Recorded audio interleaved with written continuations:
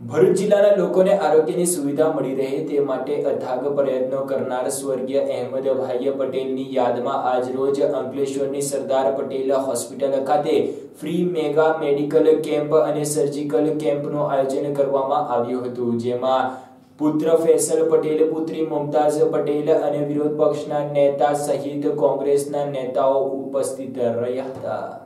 અંકલેશ્વરની Sardar Patel hospital ખાતે સ્વર્ગીય અહેમદભાઈ પટેલની યાદમાં ફ્રી મેગા મેડિકલ કેમ્પ અને સર્જિકલ કેમ્પનું આયોજન કરવામાં આવ્યું હતું. Cardiology general medicine general surgery orthopedic joint replacement kidney તેમજ મૂત્ર રોગ અને દાંતને લાગતા રોગોની સર્જરીનો વિનામૂલ્યે લાભ આપવામાં આવશે. ભરૂચના લોકલાડીલા નેતા અને જેઓ હર હંમેશા ભરૂચની જનતા માટે ખડે પગે ઊભા રહેતા હતા, તેવા અહેમદભાઈ પટેલનું ગત તારીખ પચીસ નવેમ્બરના રોજ નિધન થયું હતું. તેમના નિધન બાદ ભરૂચમાં લોકોમાં ઘેરા શોકની લાગણી વ્યાપી ગઈ છે. આજે પણ લોકો તેમને યાદ કરે છે. જો કે જેમના પ્રયત્નોથી અંકલેશ્વર અને એમાં ભરૂચ જિલ્લામાં સર્વપ્રથમ કોઈક મોટું હોસ્પિટલ બન્યું હોય કે જ્યાં તમામ રોગોની સારવાર મળી રહેતી હોય તો તે Sardar Vallabhbhai Patel hospital and heart institute શરૂ થયું હતું. એવા સ્વર્ગીય અહેમદભાઈ પટેલના સ્મરણમાં આગામી તારીખ ચાર, પાંચ અને છ જાન્યુઆરી દરમિયાન હોસ્પિટલ ખાતે વિનામૂલ્યે મેગા કેમ્પનું આયોજન કરવામાં આવ્યું છે. આ કેમ્પમાં એન્જિયોગ્રાફી એન્જિયોપ્લાસ્ટી જોઈન્ટ રિપ્લેસમેન્ટ સ્ત્રીઓના તમામ રોગો અને ઓપરેશન દૂરબીન દ્વારા જનરલ સર્જરી તથા યુરોલોજી કિડની પ્રોસ્ટેટ અને પેશાબના રોગોની સર્જરી વિનામૂલ્યે કરવામાં આવનાર છે. Radiology, pathology echocardiogram TMT જેવી સેવાઓ તથા દવાઓ ડિસ્કાઉન્ટ ભાવથી આપવામાં આવનાર છે. Sardar Patel hospital and heart institute of cardiology, general medicine, દાંતના રોગો અને જનરલ સર્જરીના કેમ્પનું આયોજન કરવામાં આવ્યું છે. સવારે દસ વાગ્યાથી સાંજે છ વાગ્યા સુધી આ કેમ્પ યોજાનાર છે, જેમાં ગરીબ અને જરૂરિયાતમંદ દર્દીઓને લાભ મળશે. હોસ્પિટલમાં યોજના અને આયુષ્માન ભારત યોજના હેઠળ હૃદય, હાડકા અને સાંધા, કિડની અને મૃતાશયના રોગની સારવાર ફ્રીમાં કરવામાં આવી રહી છે.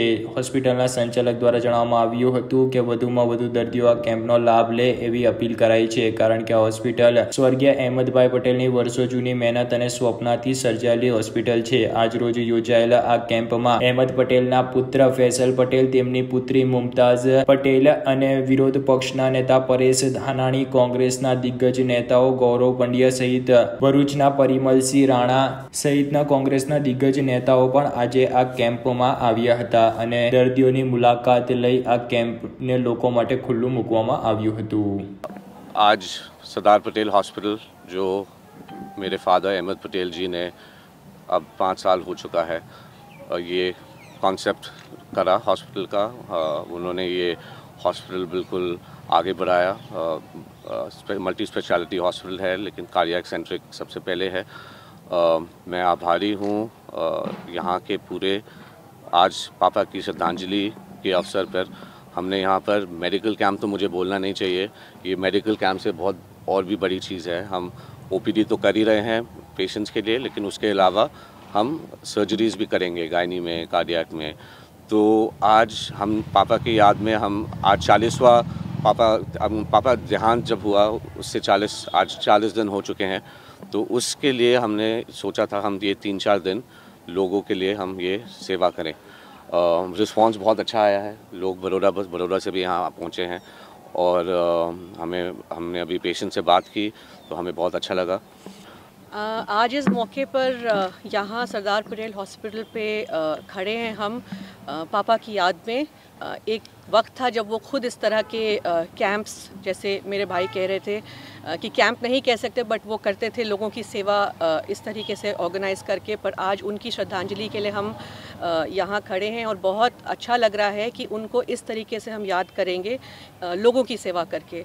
और मैं ज़्यादा नहीं बोलना चाहती हूँ। मैं बहुत आभारी हूँ। सरदार पटेल हॉस्पिटल ट्रस्ट, हमारे ट्रस्टीज़ कमलेश भाई, चंद्रेश भाई, जयेश भाई, आरिफ भाई और सारे यहाँ के डॉक्टर्स खास करके जो अभी सुपरवाइज़ कर रहे हैं इस वक्त doctor Javeri, doctor Gupta, doctor Pawan और बाकी सब हमारा सपोर्टिंग स्टाफ। ऑल्सो जो हमारे डोनर्स हैं, उनको ख़ास ख़ास धन्यवाद। इसी तरह आप हमारा समर्थन करें और इस हॉस्पिटल को आ, हमारे पिताजी श्री अहमद पटेल के नाम पे आ, हम याद करके चलाते रहे और अ, जितने ज़्यादा लोग हो सके उनकी हम मदद कर पाएँ आज बहुत अ, संख्या में लोग आए हैं और अगले तीन दिन तक हम अ, चाहते हैं कि जितने लोगों का इलाज हो सके हम करें સમગ્ર મધ્ય ગુજરાતની સારવારનું કેન્દ્ર બિંદુ એવા અંકલેશ્વરમાં આજ સરદાર પટેલ હોસ્પિટલ ખાતે સેવાની મૂર્તિ, સમર્પણની મૂર્તિ, ત્યાગની મૂર્તિ એવા સ્વર્ગીય હેમંતભાઈ પટેલ સાહેબની અંતિમ વિદાયના ચાલીસમા દિવસે એમણે કંડારેલી કેડીએ સન્માનની ફૈઝલભાઈ અને મુમતાઝબેને આજે આરોગ્ય વિષયક કેમ્પથી આ ભરૂચ જિલ્લો આદિવાસી બેલ્ટ નાનામાં નાના ગામના ગરીબ માણસના તંદુરસ્ત આરોગ્યની ચિંતા કરવાનો પ્રયાસ કર્યો છે. સાહેબે જે કેડી કંડારી હતી એ જ સેવાના યજ્ઞને આગળ ધપાવવાના સંકલ્પ સાથે બંને ભાઈ બહેન આજ સરદાર પટેલ હોસ્પિટલની અંદર મને લાગે છે કે હજાર પંદરસો જેટલા દર્દીઓ એની આરોગ્યની ચકાસણી કરશે, જરૂરિયાતમંદ લોકોની સર્જરી કરવામાં આવશે હૃદય રોગના દર્દીઓને પણ સાજા થઈને ફરી દોડતા થાય એવા સુંદર મજાના સંકલ્પ સાથે આ યજ્ઞને આરંભો છે. પરમ કૃપાળુ પરમેશ્વરને પ્રાર્થના કરું કે આ સરદાર પટેલ ઇન્સ્ટિટ્યૂટ અને કેમ્પમાં આવનારા બધા જ દર્દીઓ ફરીથી તંદુરસ્ત સ્વાસ્થ્ય સાથે જલ્દી દોડતા થાય.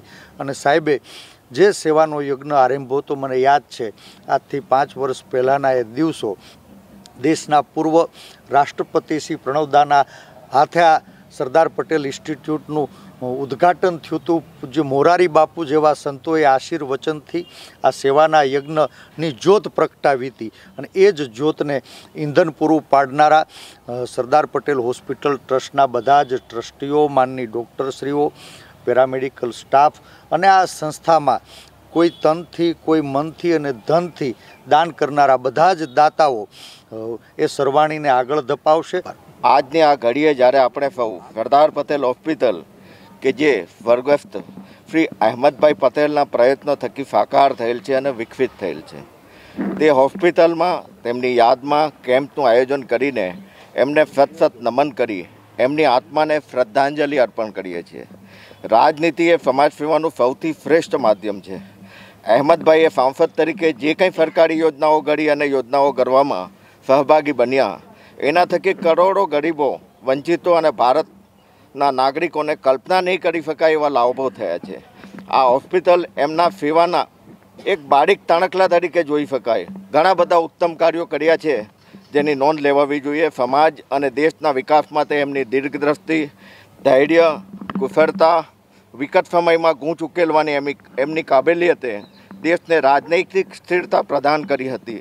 એમની સેવા તથા એમના વિરાટ હૃદયથી વાકેફ એવા લોકો કે જેમણે અહમદભાઈને નજીકથી જોયા છે, એમને એમના વ્યક્તિત્વમાં એક અનોખો ભાવ અને એક દિલેડી જોઈ છે.